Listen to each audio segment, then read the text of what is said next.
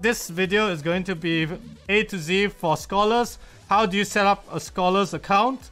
And how do you get them playing your Pegaxy, okay? So this is literally going to be from scratch. You're going to create your MetaMask. This is what you're going to probably show your scholar.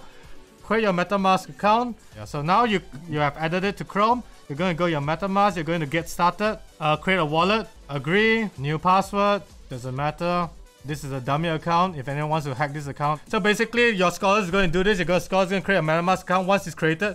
Now go to your other MetaMask account, the one that you already created. So this is after you created your MetaMask account. You're going to go to this website. You're going to go to Polygon wallet or connect a wallet to a wallet. Yep, click connect to a wallet. MetaMask. Click next. Click connect. Click sign. So now you're going to go to your um, top right, your MetaMask, and then you're going to select Matic Network. So you already have a Matic Network already. Yes. Okay, so you're going to ask your scholar to select the Matic. network. You already have a bit of Matic.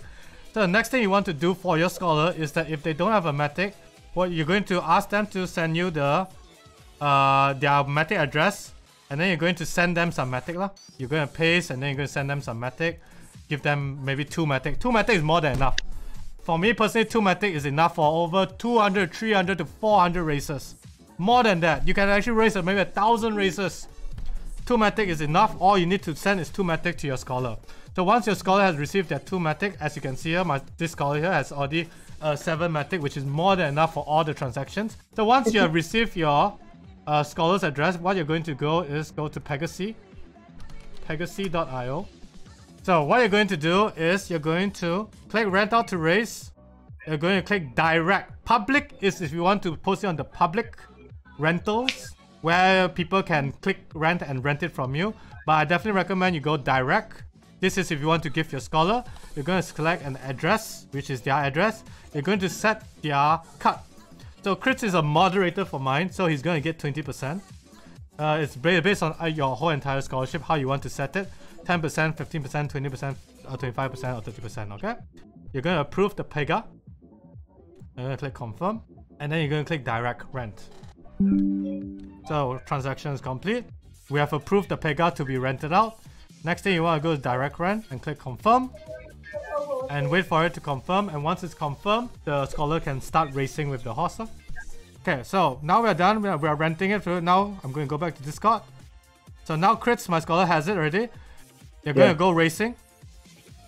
And as you as you saw, the matic fees are super low, 0.00000025. So two it two matic is more than enough. Click start. Yeah, click start. And they can start racing the horse already. It's, a, it's that simple. It's that simple. That's it.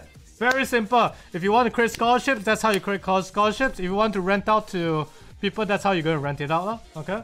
Once you have done renting out the X, the Pegaxy to your scholar, when they race and if they earn anything from that race, it's instantly debited into your account here. Instantly in this account. As they are playing, you instantly get your VIS tokens here. And you need to wait 14 days for you to claim.